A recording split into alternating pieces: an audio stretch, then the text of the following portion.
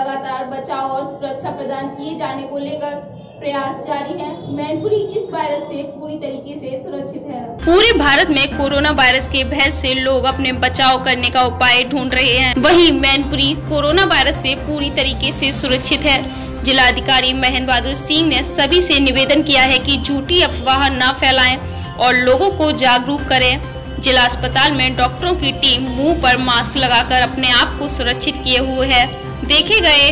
वही डॉक्टर की ओर से यहाँ आने वाले लोगों को भी जागरूक करते हुए देखा गया। जिला अस्पताल में पहुँचने वाले लापरवाही बरत रहे हैं। अस्पताल में तैनात डॉक्टर राजकुमार ने इस वायरस से बचने के लिए और क्या कुछ बताया है, यह जरा आप भी सुनिए। अभी तक मैनपुरी में कोई केस नहीं देखा गया है। एक संदिग्ध केस यहाँ जिला अस्पताल मैनपुरी में कल एडमिट किया गया था, जिसका सैंपल स्क्रीनिंग के लिए भेजा गया था। आज उसकी रिपोर्ट आई है, वो नेगेटिव है।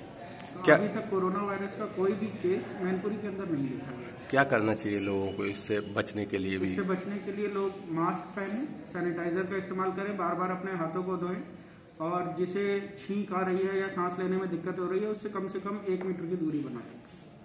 तो इस वक्त जो है मैनपुरी में इस तरीके का कोई केस नहीं नहीं है? अभी तो कोई नहीं। ये अफवाहों से क्या चल रहा है? अफवाहें जो चल रही हैं अफवाहों की तरफ़ ध्यान ना दें क्योंकि इस समय मौसम भी चेंज हो रहा है तो उस वजह से लोगों को सिंपल वायरल जुकाम वगैरह भी है। उससे कोरोना की तरफ़ ना जाए। क्या नाम आपका? डॉक्टर राजकुमार। मैं ये कहना चाहूँगा कि पूरे भारत की तो मैं बात नहीं करता लेकिन मैं मैनपुरी का निवासी हूँ और मैनपुरी में अभी तक इस प्रकार का कोई भी केस नहीं आया। संदिग्ध एक व्यक्ति था, उसकी जाँच की गई, वो भी स्वच्छ और स्वस्थ पाया गया। मैं उन लोगों से निवेदन और आग्रह करना चाहूँगा कि हमारे परिवार, हमारी फैमिली में कोई भी इस तरीके की अफवाह या व्हाट्सएप, ट्विटर, फेसबुक पर मैसेज ना करें, जिससे हमारे मैनपुरी निवासी भयभीत हों।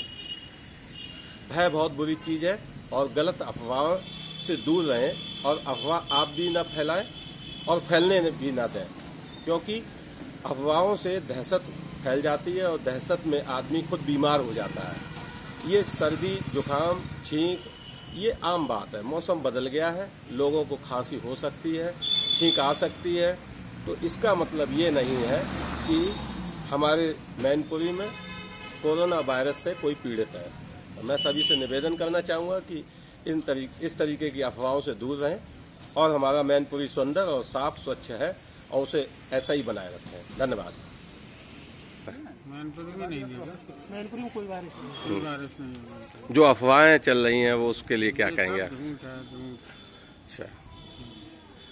क्या कहना चाहेंगे लोगों के लिए? गलत गलत अखबार फैला रहे हैं ना लोग। मैनपुरी में अभी तक कोई केस नहीं है क्या नाम आपका? राकेश दुबे।